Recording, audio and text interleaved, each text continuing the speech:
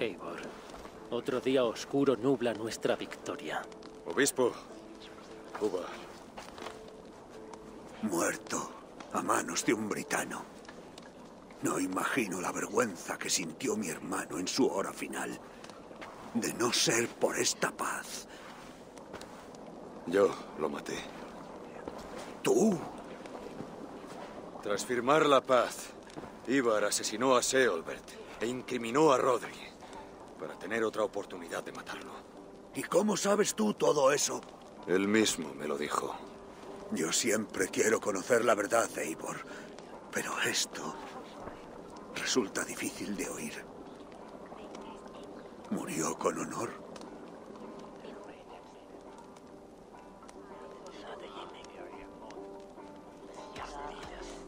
Su deseo era morir a mis manos. Quería una muerte sangrienta y gloriosa. Y tú no se la negaste. Sin Ibar, al fin se impondrán la paz y la calma. Es una buena noticia. Me consolaré pensando que nos reuniremos de nuevo en el Valhalla. Hacha en mano. Para bien o para mal, vivió según sus propias normas. ¿Cuántos pueden decir eso? Jamás entendí sus motivos. A menudo me parecía extraño y sus actos me desconcertaban. Pero no todos los hombres nacen para ser comprendidos.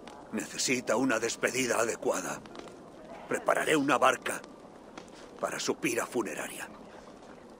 Obispo, de que su marido murió a manos de un traidor y que Ibar ha pagado por ello.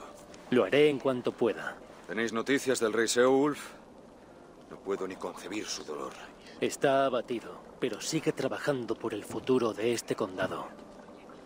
Yo seré regidor. Así pues, Shropshire se declara vuestra amiga y aliada, y lo seguirá siendo hasta el fin de mis días. Os lo agradezco, obispo. Dios esté contigo, Eivor, a donde quiera que vayas.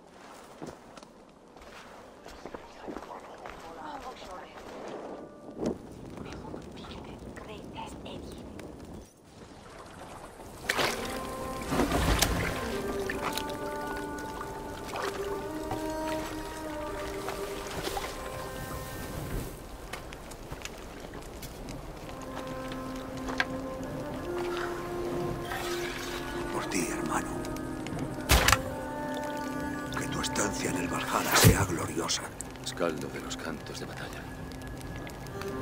Deshuesad una vega hacia la gloria en un llameante corcel de mar.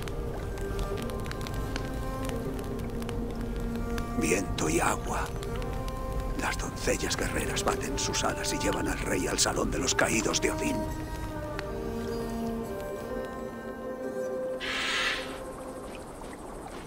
Ha muerto. Y Shropshire es un aliado. Debería hablar con Radmi.